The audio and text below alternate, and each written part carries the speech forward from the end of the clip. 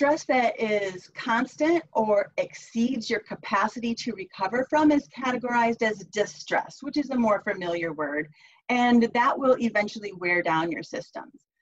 We often think of stress as emotional, like overwhelm, busyness, like the demands of work, relationship issues, but it can also be physical, like over exercising or poor nutrition or lack of sleep.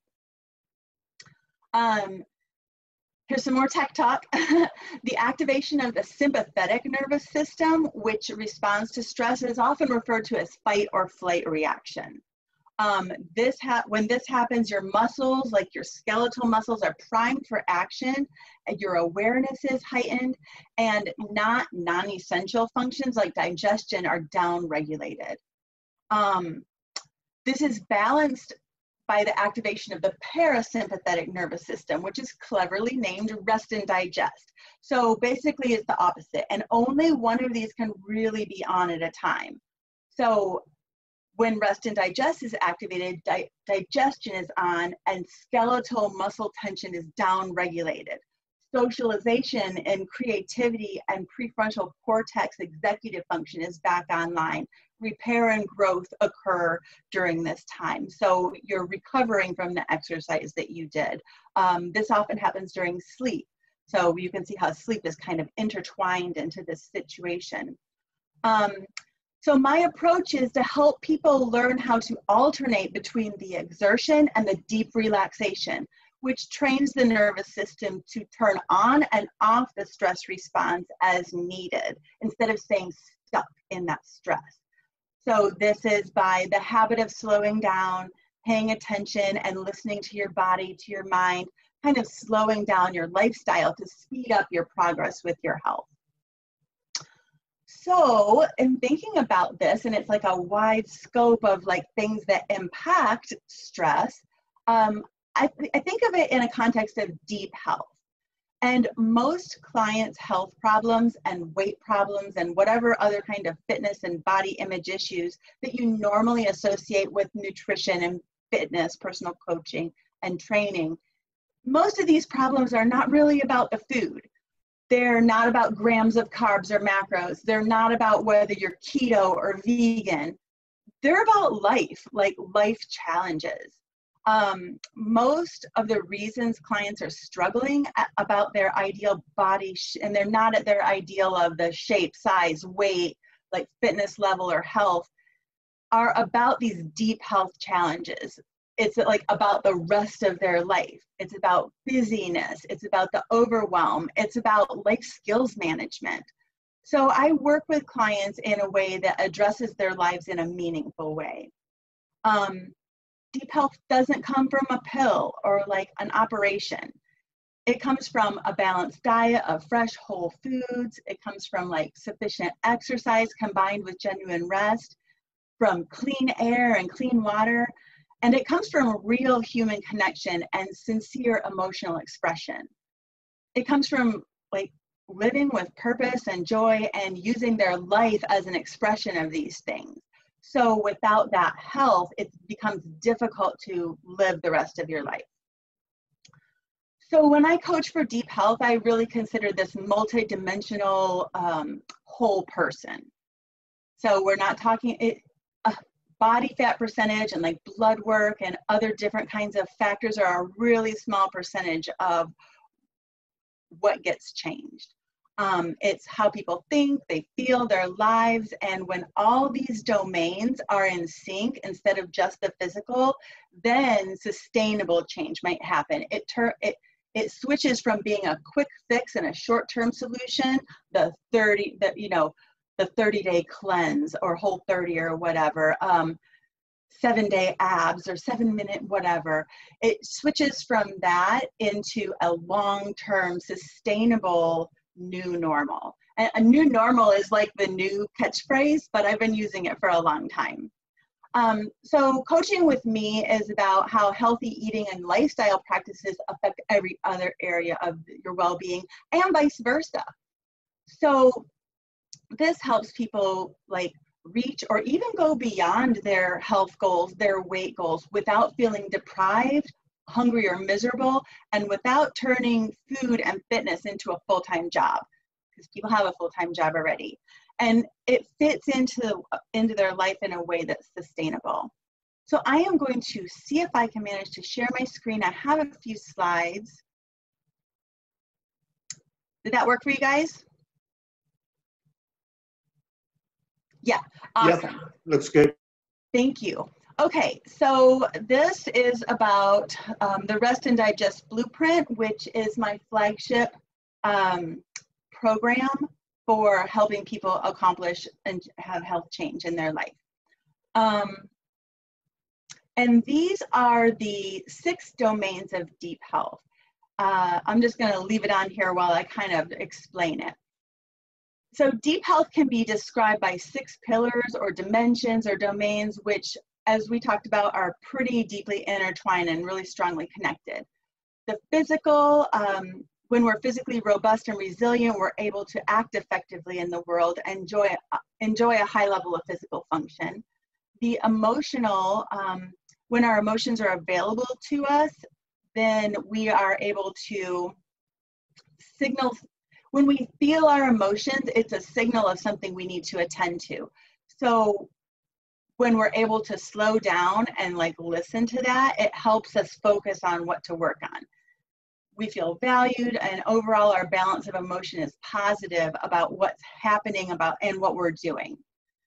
The environmental factor is being safe and secure in our surroundings um, with access to healthy resources.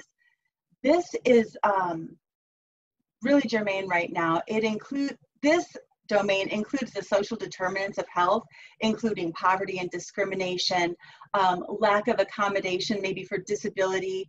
If someone is displaced, like maybe they're a refugee, then focus on things of health um, can be like derailed because this one aspect of their total health is really stuck. So it's hard to focus on other things like healthy food, um, then, okay, so moving on. Mental is being able to think well and clearly, having our minds be wise, agile, and kind, and helping us solve problems creatively and making thoughtful choices that align with our deeper principles and values.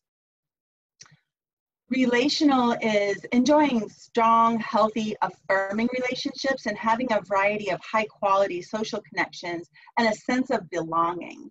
Um, having high performing people around us encourages us to have like high level activities that sustains us.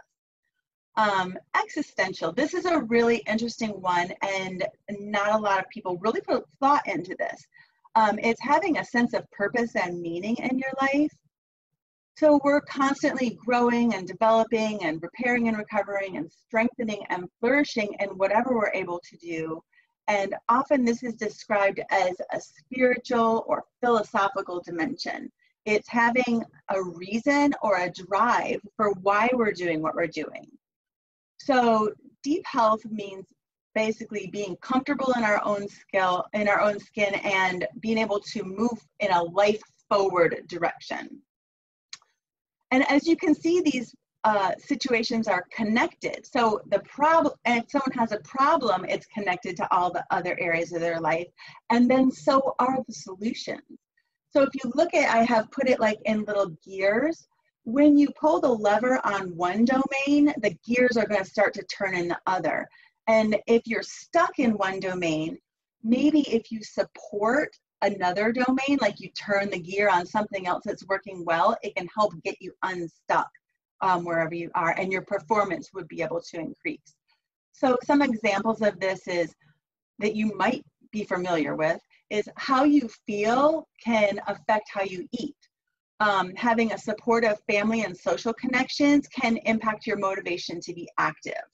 Um, like being able to go to the gym and see your friends maybe in a class or take a walk like we did on Saturday with some people. Like I might not have got out of the house that day if Rockie hadn't suggested coming over and taking a walk around the neighborhood. So they're really intertwined. Um, and people with a clear purpose have self talk and self stories that foster healthy actions and choices. So, valuing oneself affects how we treat our minds, bodies, and the people around us. So coaching is about using those connections between the domains to the client's advantage and inviting them to explore areas for growth, improvement, and learning um, instead of prescribing, like giving meal plans or exercise regimens. Um, so here's the next slide. Let me see if I can make it to. you. Yes. Okay. So when I start working with people, I go through a wide variety of assessments and they kind of like, it's um, a little chart, like if they answer yes or no, then it goes in a different direction. So when we start talking about um, deep health, I give them this questionnaire.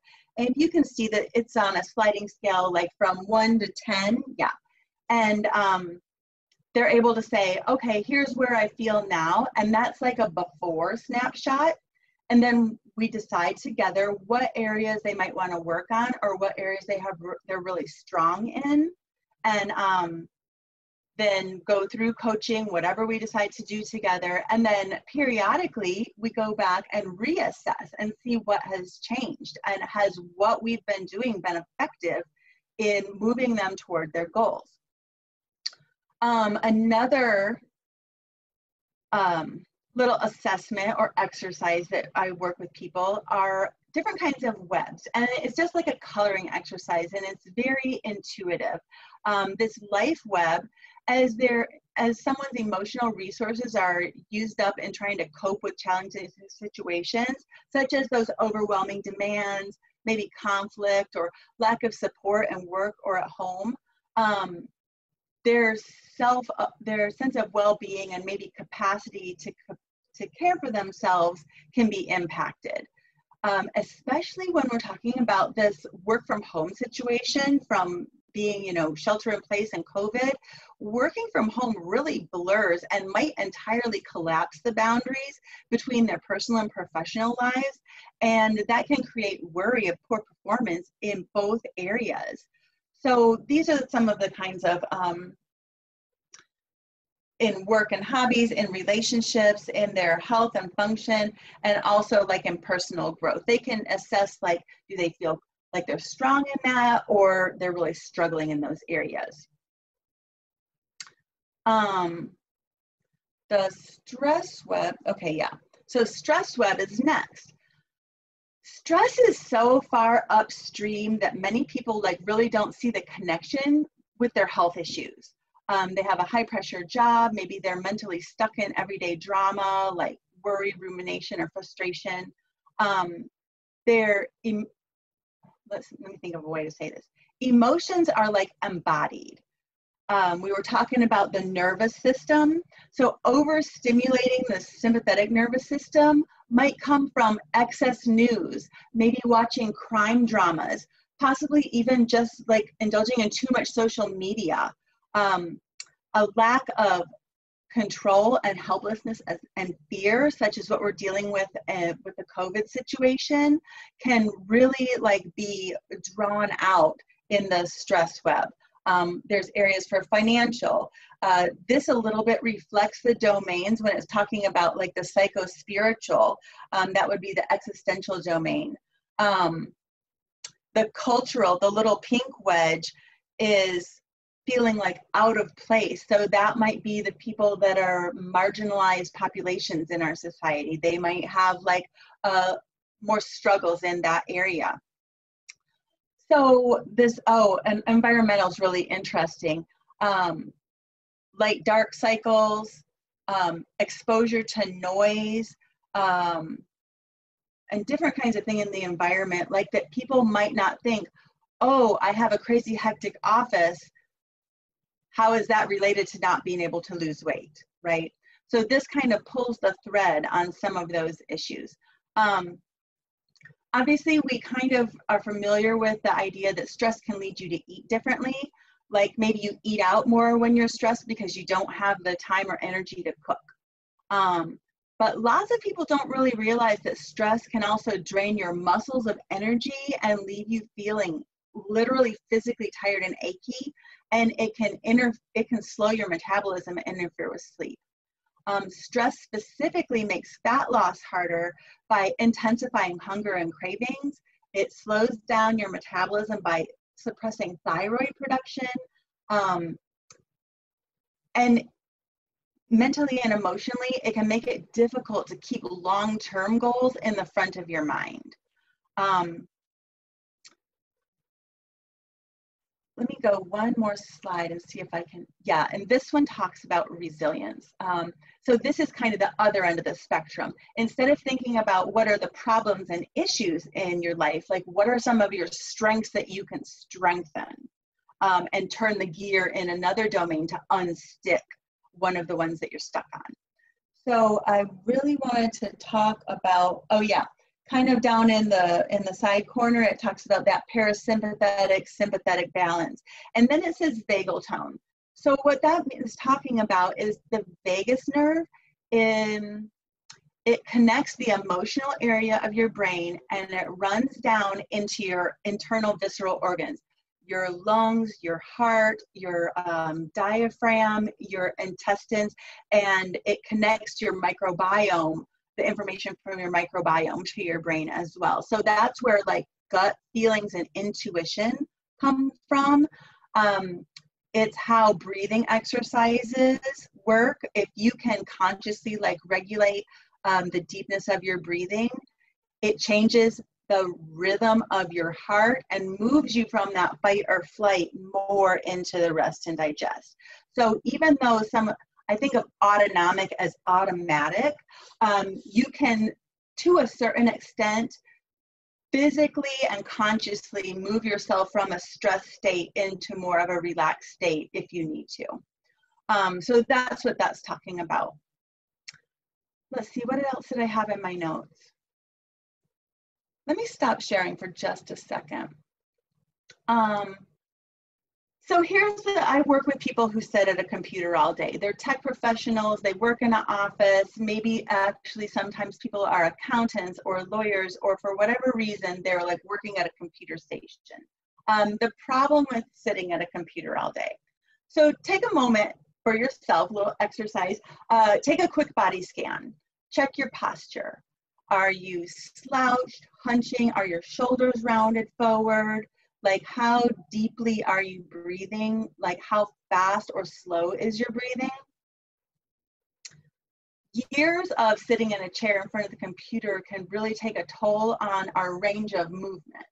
Um, a slouched posture really compresses the amount of uh, room that's in the lungs and therefore since you don't have enough room you have to have more cycles of breath. You breathe a little bit more shallowly a little bit faster that fast rate of breathing is signaled through the vagus nerve to your emotional brain and that breathing pattern is recognized as a stress pattern. So um, what happens then? So you have a stress pattern, your brain says, oh my gosh, let's go into fight and flight. It releases cortisol cortisol has a domino effect that then it will release blood sugar because your skeletal muscles will need to move. Because there's blood sugar, then your body releases insulin so that sugar can get into the muscles. But what? You're just sitting there. All your big skeletal muscles, you're literally sitting on them. They're not moving. So what happens? All this like soupy insulin and blood sugar is and cortisol and stress hormones are flowing around inside you and nothing happens to them. And this can lead to, over time, over the course of a career, lifestyle diseases such as um, metabolic syndrome, which includes cardiovascular disease, abdominal obesity, non alcoholic fatty liver, and even lead to diabetes, like high blood pressure is in there. So something as simple as sitting at your desk in a safe, relaxed environment can lead to all these life threatening diseases. And not that I would ever diagnose, but I consider it my, part of my work in the world to help people realize that they don't have to go down that path. That there are things that can that they can do to take control. That they don't have to just live with high blood pressure, that if they have type 2 diabetes, there are things they can do to turn that around, that they won't have to lose their eyesight, that they won't have to have toes amputated, um, that they won't have to struggle with um, like the looming threat of a heart attack. As a little personal story, um, my family has generational heart disease, and my brother had his first heart attack at 37 years old. So this is like really personal for me, and I'm super passionate about it. So um, I will move on from that. um, so until people address those underlying factors that stress is impacting, they're really going to be fighting an uphill battle with their health and nutrition and fitness goals. Um, so I want to show you a, a quick breathing exercise that someone can do in the moment if they're feeling stressed, if they notice that they're um, having shallow breathing. Um, and it literally is so simple. All you need to do is breathe in any way that has a longer exhale than the inhale. So sometimes that can just be a slow breath.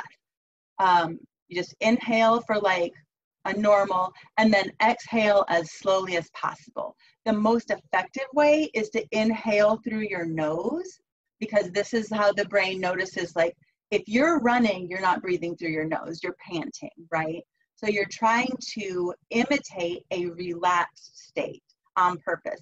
So just take a second and inhale through your nose and then blow out as and make it last as long as possible.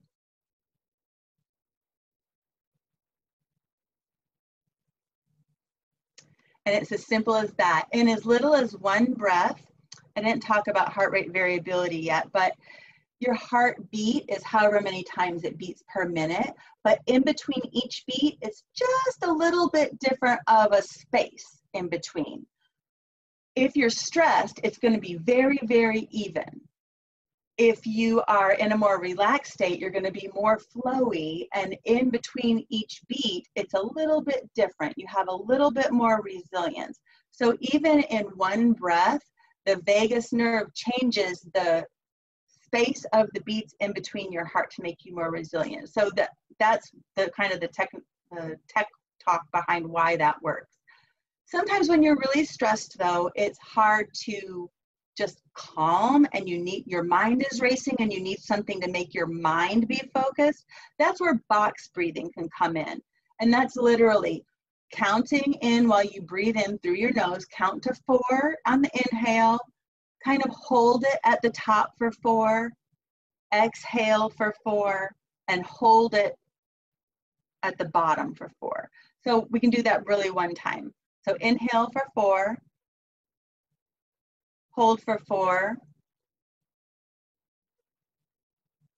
Exhale for four.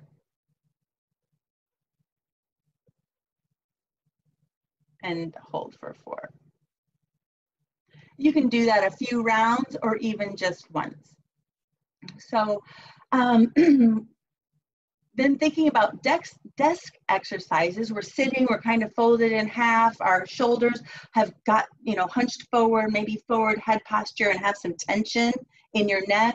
Maybe your back starts to ache. Um, when you get up, your hips are stiff.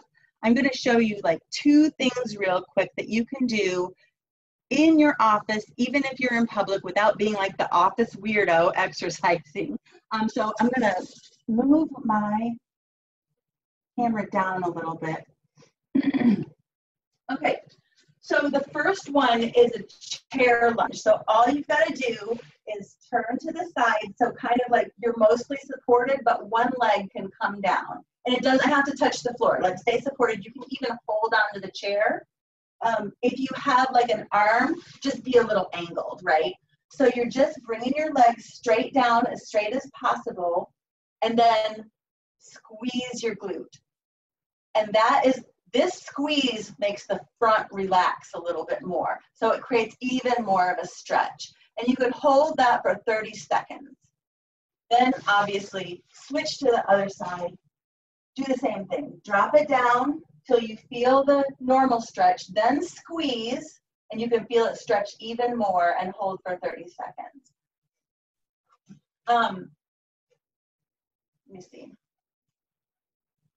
I have a few little gadgets that maybe you could have in your desk. You don't even need them, but I'm going to show you both ways. This is called a wall angel, and it helps to open up the chest, strengthen um, the back of your shoulder. So all you got to do is hold your arms like this, and then up, and then squeeze your elbows down kind of like into your waist. So your shoulders are really back, you're squeezing your shoulder blades together, and just do this motion a few times. If you do have a little band, this is a mini band, so it's like a loop. You can wrap it around your thumbs and do the same thing. So it's a little bit of resistance and it allows you to get a little bit more stretch. Or maybe you just have like a piece of TheraBand or some kind of tubing that's not a loop. Same thing, just grab it and you can do like that. Um, the final exercise that I'd like to show you can help with that forward head posture um, that creates like a lot of tension in the neck. So this is super gorgeous. So like you might want to just do it in private or whatever.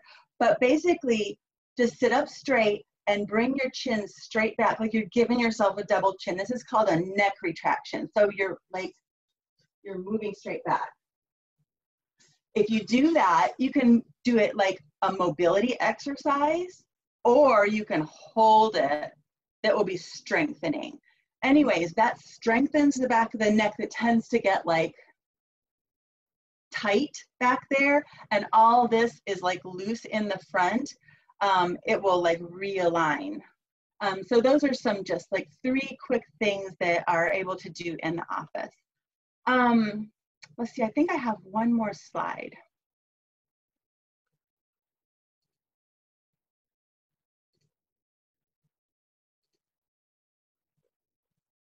Okay, so this is a little bit of how I work with coaching, like the nitty gritty of how it works. My coaching focuses on forming long-term habits that can be used across different diets, goals, and lifestyles. And most importantly, you'll have me as a coach there through every step to guide you, um, to help you prepare for difficult situations, um, and make adjustments and, and keep you accountable. So basically, we take an outcome goal and break it down into skills and then daily practices to help build those skills. So I spend basically at least two weeks on every skill set so that someone is able to move systematically toward their goal. Um, so an example of this, if someone wanted to lose 20 pounds, then maybe two of the skills that they would need to work on is hunger and appetite awareness or eating um, fresh whole foods consistently. And there's a lot of reasons behind that, but I keep it simple and practical um, when someone's working with. They don't need to know all the science behind it. That's my job. All they need to know is like what to do. Um, so the behavior goals that they're going to practice is eating slowly, um, maybe eating to 80% full, and that's going to help them build that hunger and appetite awareness. Um, as far as what they can do to eat whole fresh foods consistently is make a focus of eating a protein source at every single meal. Um, maybe for another two weeks, they'll work on adding more vegetables to every single plate. So you can see how this can like build and build and build on each other until it becomes the new normal. Um, yeah, I'm gonna stop share real quick. So I wanted to show one last thing is how does it technically work? How do you do personal training um, in a virtual environment at a distance online? So share screen with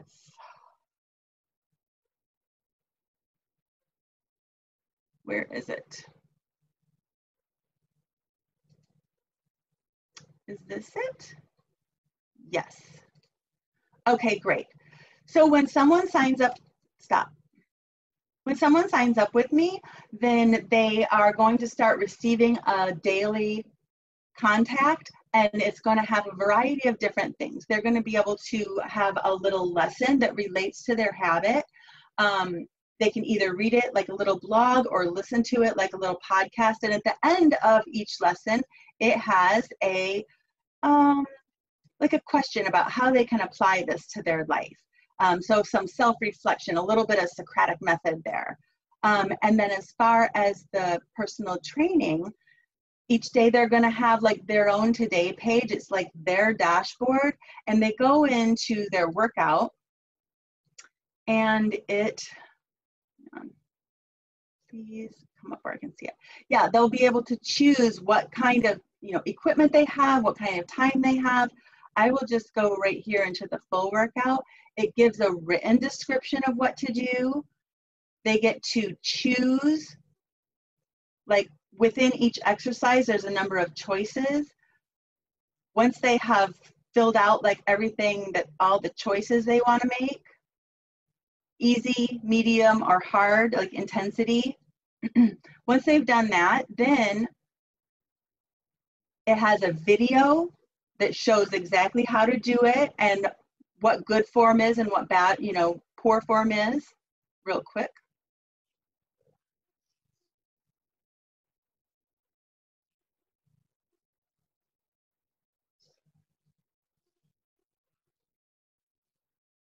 So it gives them a quick demonstration. It has, you know, step-by-step instructions of how to do it. And then the first few times, maybe they'll need to watch the video, but then maybe they'll just need a quick reminder. What am I supposed to do? Oh, here's, I remember this exercise. So they're able to quickly go in and set up their own um, workout according to what they feel like that day and how recovered they are. And um, they can take that anywhere, whether they're in their gym environment, whether they're working out at home, whether they're traveling like on the road and have a hotel, if they want to take it outside. So it's kind of like having a coach in your pocket. Um, there's private messaging with me, and that's kind of like the platform of how I deliver coaching to people. Um, we meet, depending on the client, either in a private or group environment sometimes weekly, sometimes once per habit every two weeks. Um, and that's kind of the, the how of how it works. So thank you very, very much for letting me um, share with you, pull the curtain back of how it works. Um, so that's my flagship program. It's called the Rest and Digest Blueprint. Um, if you were thinking about like how to describe it to someone, if you knew someone who was interested in that, I work with people for a minimum of four months, but the program is actually a year long. So it gives them like a complete arc of curriculum and time for those habits to really get set in. Um, and ways that people can support me in my business is by connecting with me on social media. So of course, I would love to be friends with you on Facebook, but I have a Facebook business page. Um, LinkedIn, if someone's on Instagram, that's a great way to connect with me. Also, I have a free Facebook group. Um, so you could refer someone to just join my group and then they could kind of find out about what I'm about. So I really appreciate you guys um, letting me present today and I hope that wasn't too long. No, no, that's perfect. Great information though. I was uh, relating to a lot of it um, when you were talking about uh, sleep. Uh, lately, everything that I hear is about sleep, you know, so your body can heal and your cells and recovering. And so I'm trying to get my seven to eight every day. So uh, I'm really focusing on that, but I can tell a difference. And then that deep breathing, those I do those exercise, those deep breathing, and that makes a huge difference. Whether in your, you're in your car, walking, you know, whatever, just to to get that.